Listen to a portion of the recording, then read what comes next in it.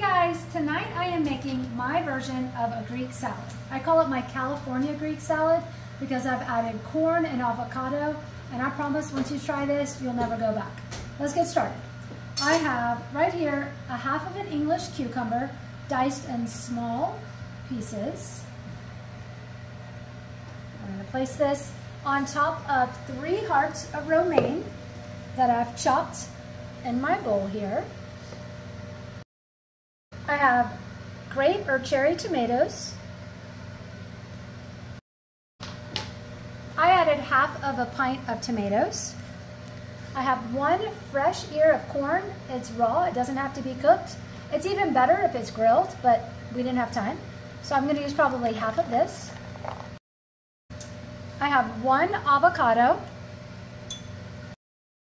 Have one small can, seven and a half ounces of chickpeas or garbanzo beans.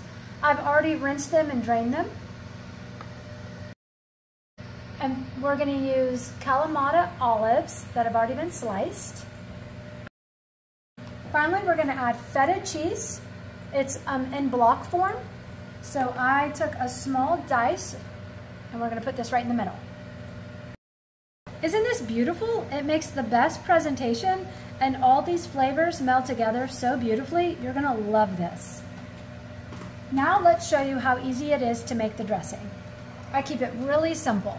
There's so much flavor in this salad that you don't have to add too much flavor to your dressing. We're gonna start with one quarter cup of freshly squeezed lemon juice, a quarter cup of olive oil, now we're gonna add salt and pepper. We need one and a half teaspoons of salt and freshly ground pepper. I don't measure, it's about that much. And I like to mix it all in a mason jar. It just makes everything so much easier. Okay, the dressing is perfect now. It's come together. And we're gonna go ahead and toss this. I probably only used half of the dressing. I don't like my salads with too much dressing. How easy is that? I promise this is the best salad recipe. I haven't met anyone who doesn't like it yet. I hope you guys give it a try.